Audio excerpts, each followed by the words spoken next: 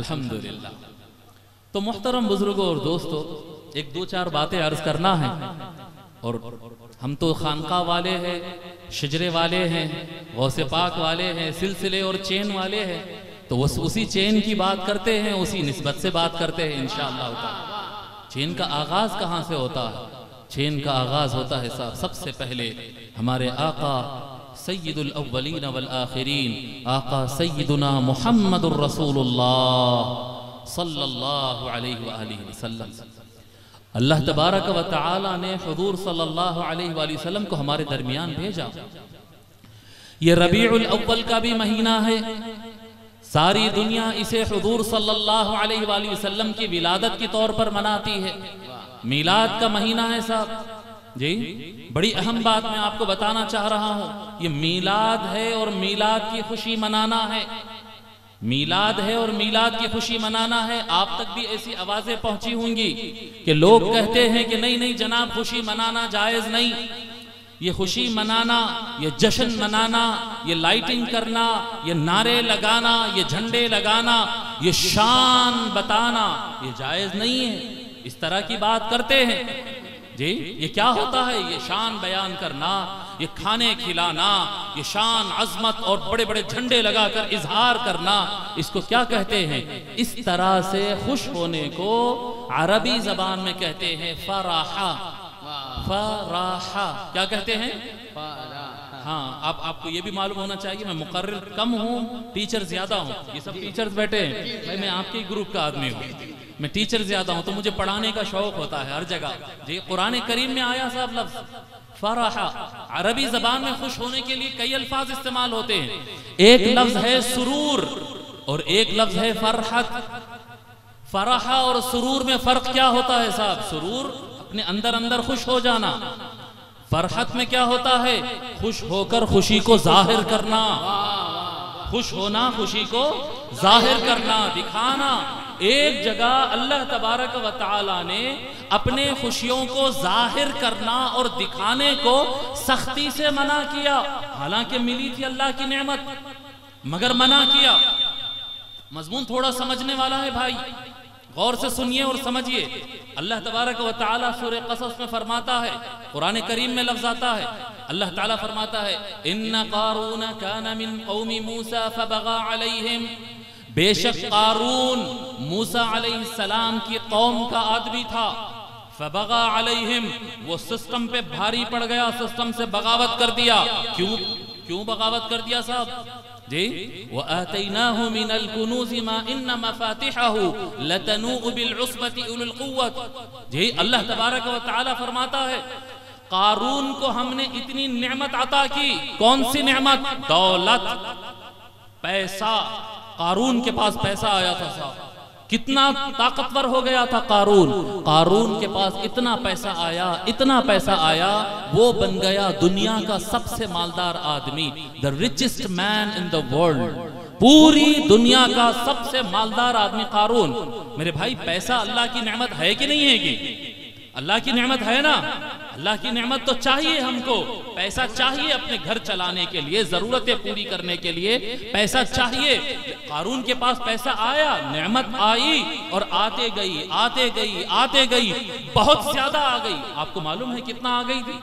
कारून के पास इतना पैसा आया, मा अल्लाह ताला फरमाता है कि जैसा कारून का एक खजाना, आज के वैसा बैंक बैलेंस सिस्टम नहीं होता था ना। आज क्या है बैंक बैलेंस होता है और मोबाइल पर नंबर आ जाता कि आप कितने पैसे है ऑनलाइन अकाउंटिंग होती। उस तरह से तो नहीं था। बैंक नहीं थे वो जमाने में। तो जो जितना पैसे वाला होता, उतना सोना चांदी उसके घर में रखा हुआ रहता था। ठीक है? तो जिसके पास सोना चांदी होता है वो क्या करता है? डब्बा बनाता है, संदूक बनाता है, बॉक्स बनाता है, उसके अंदर सोना चांदी डालता है और लॉक कर देता है। बराबर है? लॉक कर देता है। ये हो गया डब्बा। जिसके पास बहुत सोना चांदी होगा, वो बड़ा बनाएगा संदूक। जी? और जिसके पास बहुत ज़्यादा सोना चांदी होगा, वो बनाएगा एक तिजोरी खजाना। बराबर है? एक रूम बनाएगा और रूम के अंदर सोना चांदी भरेगा, दरवाज़ा लगाएगा और उसको लॉक कर देगा। ये अल्लाह तबारक व ताला कुरान करीम में ज़िक्र कर रहा है कि कारून को हमने बहुत पैसा दिया। और बहुत ज़्यादा खजाना उसके पास सोना चांदी जमा हो गया। वो एक रूम भरकर सोना चांदी रखता है और उसको ताला डाल देता है। एक चाबी मतलब चाबी कहते हैं कुंजी कहते हैं क्या कहते हैं? जी जी जी यहाँ भी चाबी चाबी कहते हैं हाँ चाबी की चाबी। एक खजाना एक कमरा है और उसकी एक चाबी है। ये एक चाबी आ गई साहब लेकिन खजाना खत्म नहीं हुआ। दूसरा कमरा बनाया गया। उसमें सोना चांदी भरे उसको ताला डाले दूसरी चाबी आई, तीसरी चाबी आई, चौथी चाबी आई। अब तीन चार चाबियाँ तो अलग अलग नहीं संभाल सकते। कैसे संभालना पड़ेगा? की चेन बनाना पड़ेगा। की चेन बनाना पड़ेगा ना? एक चेन लेंगे, उसमें एक चाबी डालेंगे, दो चाबी डालेंगे, दस चाबी डालेंगे, पंद्रह चाबी डालेंगे। चाबियाँ जमा होते होते कुरान करीम में अल्लाह ताला बयान फरमा रहा है बयान फरमा रहा है, कारून को हमने इतने खजाने दिए कि उसको ताले डालते डालते उसके चाबियाँ इतने ज़्यादा हो गए कि ताकतवर लोगों की जमात मिलकर, एक, दो, तीन नहीं, एक ताकतवर लोगों की जमात मिलकर उसके खजाने को नहीं, उसके चाबियों को उठाने मुश्किल महसूस करती थी। इतना पैसा, अल्लाह की इतनी नेमत। जी इतनी नेमत, जब इतना पैसा आ गया, जब पावर आता है तो होता क्या है? वहाँ पर एक गुरूर आता है, एक मसरत आता है हाँ हाँ देख लेंगे। जी एक तकबर आता है, एक रूनत आती है, एक ताकत। वो उसके अंदर जो है, उसके अंदर ताकत आने लगी, उसके अंदर एक बगावत आने लगी। आपको होता ना, एक आम आदमी को अगर एक पुलिस वाला रोके तो कहता है, साहब, माफ़ कर दो ना, गलती हो गई नेक्स्ट टाइम से रॉन्ग साइड नहीं जाऊँगा हेलमेट पहन कर जाऊँगा बेल्ट लगा कर जाऊँगा। एक आम आदमी कहता है, लेकिन जो ताकतवर होता है, अगर कोई पुलिस वाला उसे रोके तो वो कहता है, तू जानता मैं कौन हूँ? मेरा बाप कौन है, मेरा चाचा कौन है, मेरा मामा कौन है? बराबर है? जो ताकतवर होता है, उसके अंदर एक इतराहट रहती है, एक तकबर रहता है। वो सिस्टम को नहीं मानता सिस्टम पर भारी पड़ जाता है। और वो कानून के अंदर वो तकबर आने लगा। और तकबर कोई और वजह से नहीं, दौलत की वजह से थी। दौलत अल्लाह की बड़ी नेमत है। दौलत अल्लाह की बड़ी नेमत है। लेकिन उस दौलत पर वो इतराने लगा। जी? फखरज अला कौमिही फ़ी जीनते। आप आज सजा रहे हैं लाइटिंग कर रहे हैं कैनवे बन रहा है, मेले लग रहे हैं, खाने पकाए जा रहे हैं, फूलों से स्टेज सजाए जा रहा है। यही होते हैं मजाहिर शान दिखाने के। कारून भी शान दिखाने लगा। कारून भी शान दिखाने लगा। जब निकलता तो कैनवे में निकलता। फूलों की सजावट होती। आगे पीछे लाइटिंग का इंतज़ाम होता है।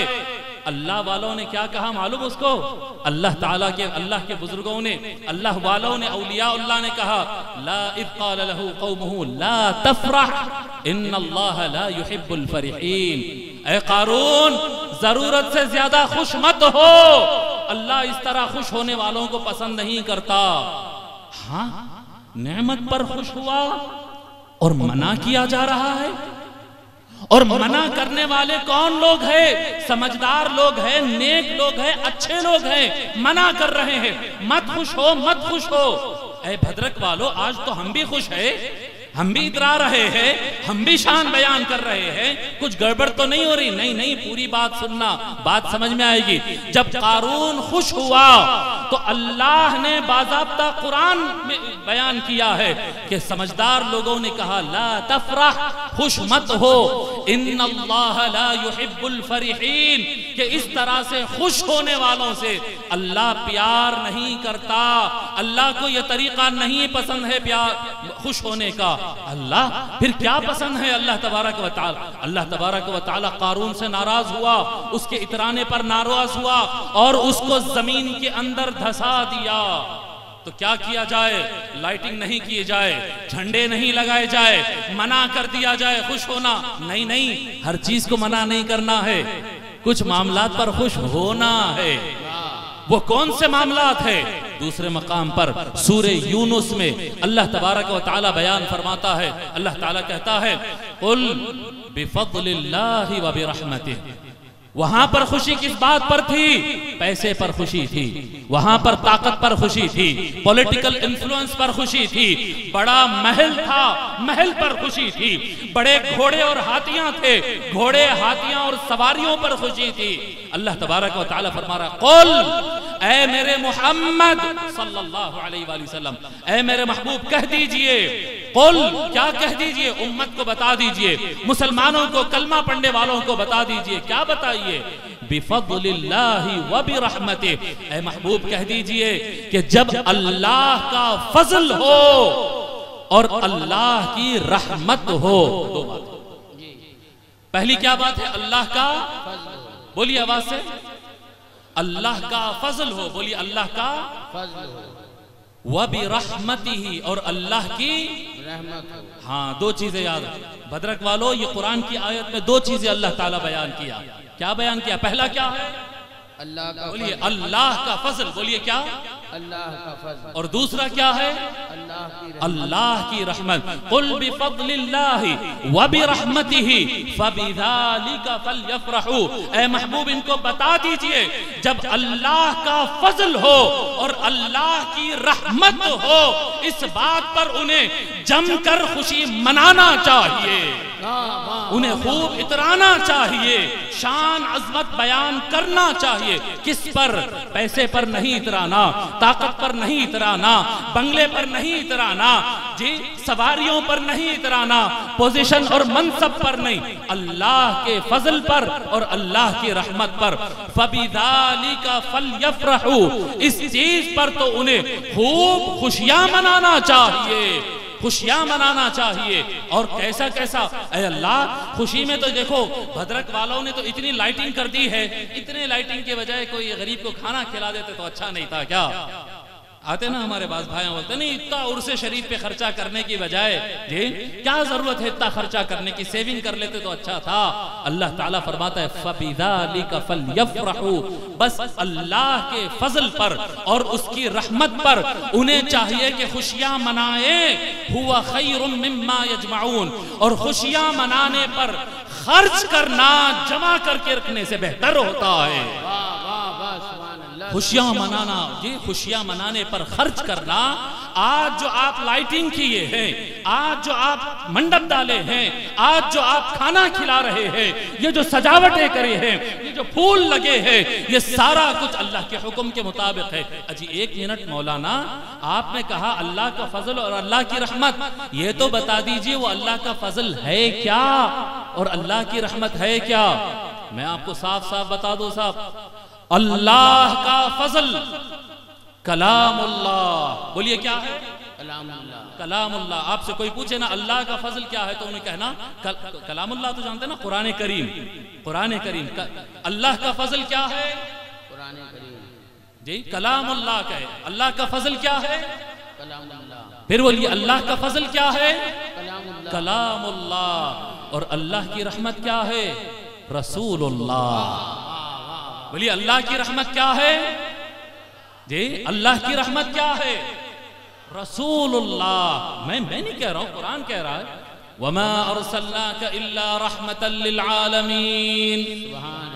अल्लाह की रहमत, ये पूरी कायनात पर जो आई है, वो अल्लाह की रहमत। वो कौन है? वो जात मोहम्मद रसूलुल्लाह सल्लल्लाहु अलैहि वसल्लम। जी, अल्लाह का कलाम अल्लाह के कलाम की, जितने खुशियाँ मनाओ, जश्न मनाओ तरावी पढ़ो, जलसे रखो तस्वीरें करो, बयान करो, चमत्कार बयान करो, कलामुल्लाह कभी खत्म होने वाला नहीं है और रसूलुल्लाह की रहमत कभी खत्म होने वाली नहीं है। ये जो दौलत है दुनिया की, इस पे न इतराओ कि दौलत खत्म होने वाली है। ये ओहदा है, आज है, कल नहीं रहेगा। ये लाइफ है, आज है, कल नहीं रहेगी। ये रिश्तेदार और खानदान, आज है, कल नहीं रहेंगे। जो चीज़ कभी खत्म नहीं होगी, वो है रसूलुल्लाह, वो है कलामुल्लाह। अल्लाह तबारक व ने जा बजा फरमाया है। अल्लाह तबारक व फरमाया, अल्लाह के फजल और रहमत पर, इस पर खुशियाँ मनाओ। तो मिलाद के मौके पर रबी अव्वल के मौके पर, अगर आशिकान मुस्तफ़ा, अहले ईमान, सारे मुसलमान, बल्कि गैर मुस्लिम भी, जब आका सल्लल्लाहु अलैहि वसल्लम के खुशी मना रहे हैं, जश्न मना रहे हैं, खर्च कर रहे हैं तो ये ऐन कुरान के हुक्म के मुताबिक है वाह वाह वाह वाह वाह ऐन कुरान के इसमें सबको शामिल करना। जी? सबको शामिल करना। क्या सिलसिले वाले, क्या गैर सिलसिले वाले? क्या सुन्नी, क्या गैर सुन्नी? क्या मुस्लिम, क्या गैर मुस्लिम? हमारे आका सल्लल्लाहु अलैहि वसल्लम, सिर्फ़ हमारे लिए रहमत है क्या? जी? लोगों, मैं बताता हूँ, खानकाही निज़ाम में और वो मुल्ला मुफ्ती का जो सिस्टम रहता है, दोनों का फ़र्क बता देता हूँ हम जी, एक तो होता ना, बड़े बड़े सरकार अलैह का तरीका। जी, कादरी, चिश्ती, नक्शबंदी, सोहरवर्दी, खानकाहों और दरगाह वालों का तरीका। एक होता मौलानाओं का तरीका। मौलानाओं के तरीके के मुताबिक जो है, हम सुन्नी है और हमारे सिवा जो भी है, गुमराह है। और सारे के सारे जहन्नम में जाने वाले हैं। उनसे हाथ मत मिलाओ, उनके साथ खाना मत खाओ, उनके उनके सलाम का जवाब मत दो। ये मुल्लाओं का तरीका। ये मुल्लाओं का तरीका है। और अल्लाह वालों का जो तरीका है, वो क्या है साहब? अल्लाह वालों का जो तरीका है ना, वो तरीका अल्लाह का दिया हुआ है। जी, अल्लाह का दिया हुआ तरीका है। कैसा है वो प्यार वाला तरीका? जी, हमारा तो अल्लाह है ना। बोलिए, हमारा है नहीं अल्लाह? जी हमारा अल्लाह है ना? मगर देखो आप, अल्लाह ताला क्या फरमाता है। अब मैं आयत पढ़ूँगा, आप लोग पूरी करना। आप लोग को याद है वो आयत? सबको याद है? जितने भी बैठे हैं, सबको याद है। कुरान की सबसे पहली सूरत रहमानिर रहीम अल, मैं मैं पढ़ रहा हूँ, आप लोग सुनिए और बोलिए, मैं सही पढ़ रहा हूँ या गलत पढ़ रहा हूँ? अऊज़ु बिल्लाहि मिनश शैतानिर रजीम बिस्मिल्लाहिर रहमानिर रहीम अल्हम्दुलिल्लाहि रब्बिल मुमिनीन। सही या गलत? बोलिए ना। अरे नहीं नहीं, हम ईमान वाले, हम हिदायत वाले, हम जन्नत वाले। अरे हमारा परवरदिगार, हमारा अल्लाह उनका नहीं, इनका नहीं, हमारा अल्लाह। नहीं नहीं नहीं बोले ऐसा अल्हम्दुलिल्लाह रब्बिल मुस्लिमीन। अरे सारे सारे मुसलमानों का खुदा जी अल्लाह। अरे नहीं नहीं एक मिनट। जी मौलाना, क्या इधर उधर से आके उलट पलट पड़ रही? भद्रक वाले तुम्हें सही करते ही, सो। भद्रक वाले सही करेंगे। चलिए, मैं आगे पढ़ता हूँ, पूरी करिए आप। अल्हम्दुलिल्लाह रब्बिल। फिर बोलिए, अल्हम्दुलिल्लाह रब्बिल। अल्लाह ताला कह रहा है, तुम सुन्नी शिया, वहाबी में तुम बांटते फिरो। मुस्लिम गैर मुस्लिम डिवीज़न करना, नफरतें बांटना, जन्नती जहन्नमी बांटते फिरना, ये तुम लोग करते फिरो। मगर अल्लाह जिसने पैदा किया, वो खुद का तारीफ़ करता है तो वो नहीं कहता कि मैं सिर्फ़ मुसलमानों का परवरदिगार हूँ, मैं मोमिनों का परवरदिगार हूँ, मैं सुन्नियों का परवरदिगार हूँ। फरमाता है, अल्लाह ताला फरमाता है, तमाम तारीफें उस अल्लाह के लिए, जो सारे जहानों का परवरदिगार है। ये है अल्लाह वालों का तरीका। ये अभी शायर से सुन रहा था कि बड़े सरकार रहमतुल्लाह अलैह के पास बड़े सरकार बड़े सरकार रहमतुल्लाह अलैह के पास कोई भी आता है तो उसका मसलक, मज़हब वगैरह नहीं पूछते थे। जो आता, उसकी ज़रूरत पूरी करते जाते थे। ये ये नहीं है कि मेरा है, तेरा है, वो गाँव का, ये गाँव का, ये जबान बोलता, वो जबान बोलता, वो फिरके का, वो मस्जिद में नमाज़ पढ़ता, वो मदरसे में पढ़ता। नहीं नहीं नहीं, ये ये मुल्ला वाले नहीं, ये अल्लाह वाले हैं। ये अल्लाह वाले हैं। ये ये रब्बुल आलमीन के वली है। रब्बुल आलमीन के वली है। आलमीन में से जो इनके दरबार पर आएगा, सबको फैज अता फरमाए। नहीं नहीं मुल साहब बिल्कुल सही है। लेकिन हुजूर का मामला, हुजूर पे तो सलाम हम पढ़ते ना। तो सरकार की रहमत तो हमारे लिए। सरकार की रहमत तो वहाबड़े को तो नहीं मिलेगी। सरकार की रहमत तो राफजी को तो नहीं मिलेगी। नहीं नहीं नहीं, सरकार की रहमत तो मुसलमानों के लिए। अच्छा चलो आयत पढ़ते हैं कुरान करीम की। आप लोग को भी याद है।